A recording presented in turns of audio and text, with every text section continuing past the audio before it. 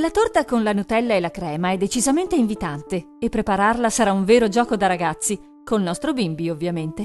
Ingredienti 160 g di farina, 150 g di zucchero, 2 uova intere, 200 ml di latte, un pizzico di sale, una bustina di lievito per dolci, 3 cucchiai di Nutella, una dose di crema.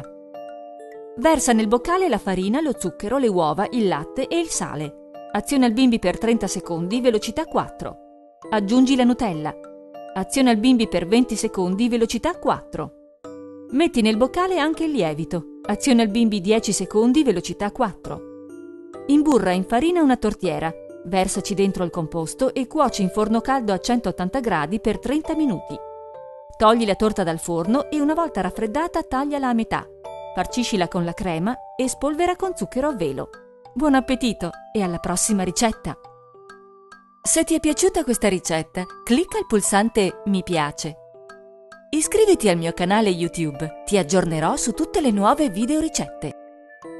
Stai su Facebook? All'indirizzo qui sotto trovi tantissime video ricette e una community di appassionati di cucina. E ora cosa vuoi preparare?